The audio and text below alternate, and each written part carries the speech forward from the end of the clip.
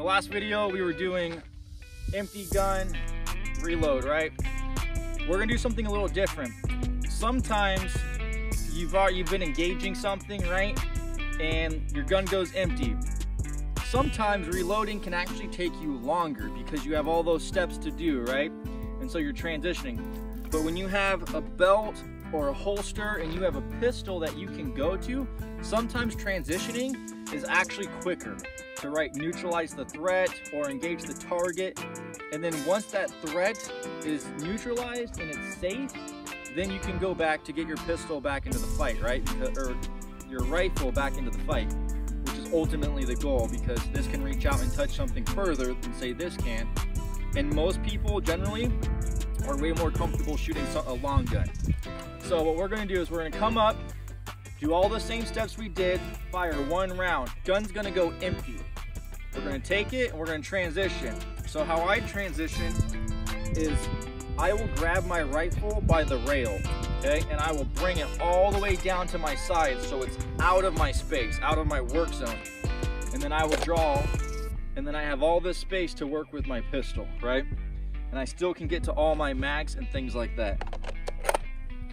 So we're gonna do one round rifle, gun's gonna go empty. Threat still up, still actively engaging us, okay? I'm gonna push it a little bit more and I'm gonna take a step off the lateral X just to make it a little bit more challenging. Get pistol up, one round. Once I get one round with the pistol on target, we'll simulate threat is down, at which point I can holster my pistol and start getting my rifle back in order. So here we go. We're gonna do it slow and then at a little bit faster pace. So threat, come up, acquire target, fire, gun goes empty, safe, gun goes out of the side, grab your pistol, bring it up, acquire target, get your good hit. Keeping your gun up on target, start bringing your rifle up, bring pistol down, magazine release, new magazine in, bolt release forward, come back up, you're scanning for threat. If threat's there, you can go to safety, take that shot, or you can go to fire, take that shot, or leave it on safe and assess. here we go. We're gonna do it a little bit faster now. We're gonna set it up again. I'm doing this with gloves, so bear with me.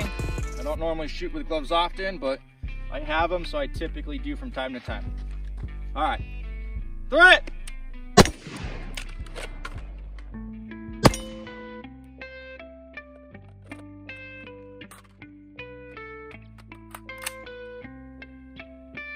Okay. So it's all the same steps I just walked through, it's just a little bit faster.